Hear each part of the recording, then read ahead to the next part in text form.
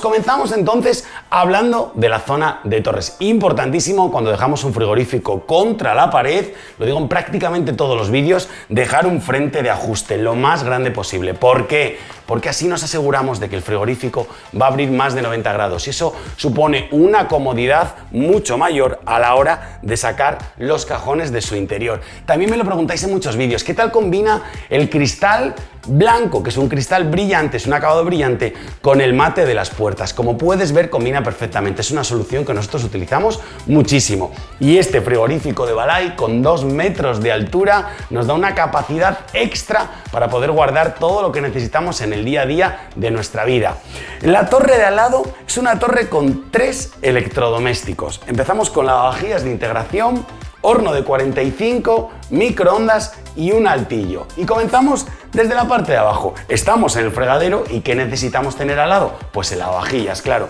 Un lavavajillas de 60 centímetros en Malay con nuestro remate en tablero marino, ya sabes, para que soporte esa salida de vapor cuando abrimos la puerta y ha terminado uno de los ciclos. Y le colocamos también una gola en horizontal para poder abrir desde la parte inferior. Justo en la parte superior tenemos este horno fantástico de NEF en 45 centímetros. ¿Por qué hemos instalado el horno en color negro, en cristal negro, y el microondas y el frigorífico en cristal blanco? Bueno, nuestros clientes tenían muy claro que querían este modelo concreto de horno y la marca NEF solo hace un único color, que es el que estamos viendo. Así que tuvimos que integrarlo exactamente igual y ahora que lo veo colocado, de verdad, no me parece tanto problema. Y ahora quiero enseñarte también cómo funciona el sistema de vapor, porque claro, estos hornos tienen aporte de vapor, pero ¿cómo funciona?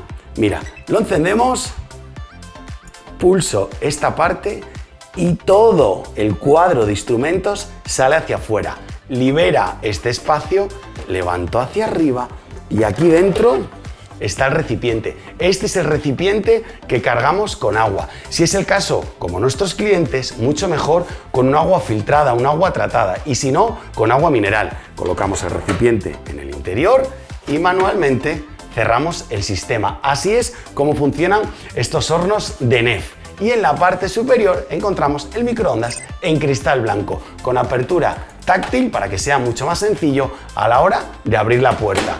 Dejamos siempre en la parte superior unas rejillas de ventilación porque toda la cocina, la zona de las torres, los hemos cerrado a techo para que nuestros clientes no tengan que limpiar la parte superior. Pulsando abrimos este altillo que en el interior encontramos las bandejas del horno. Nos encanta esa solución, Dani. ¿De qué manera más guay? En 60 centímetros has aprovechado para instalar tres electrodomésticos. ¿Se podría hacer con un horno de 60 de alto? Es normal, este caso nos pasa muchas veces. Los electrodomésticos que tenemos ya en la cocina se pueden reinstalar en el nuevo proyecto. Si en tu caso tienes un horno de 60 centímetros y necesitas hacer esta torre, no tienes ningún problema. Lo único que tienes que tener en cuenta es que sabes que te va a quedar el microondas 15 centímetros más alto. Es un poco alto para el uso diario, pero muchas veces esta triple torre de electrodomésticos nos permite agrupar solamente en un módulo todos estos electrodomésticos y liberarlos así de la parte inferior, ganando espacio en las gavetas.